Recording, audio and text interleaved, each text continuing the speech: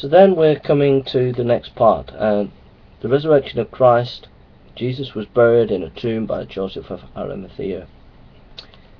Um, now, it's important to know that if a historian has two or three sources about a, a, a, something in history, then that gives it pretty good evidence that that event actually happened.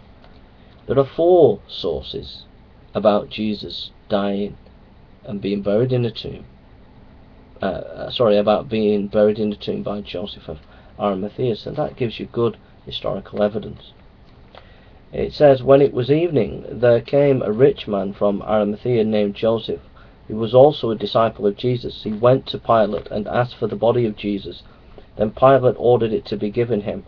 So Joseph took the body and wrapped it in a clean linen cloth and laid it in his own new tomb, which he had hewn in the rock. And he then rolled a great stone to the door of the tomb and went away.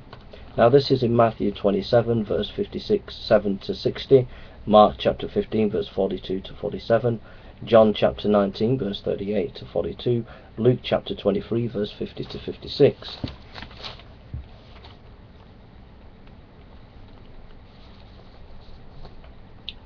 So it's such good evidence that even a, a scholar who's not evangelical, renowned Cambridge scholar John A.T. Robinson of Cambridge University says the burial of Jesus is one of the most certain of uh, facts about the historical Jesus.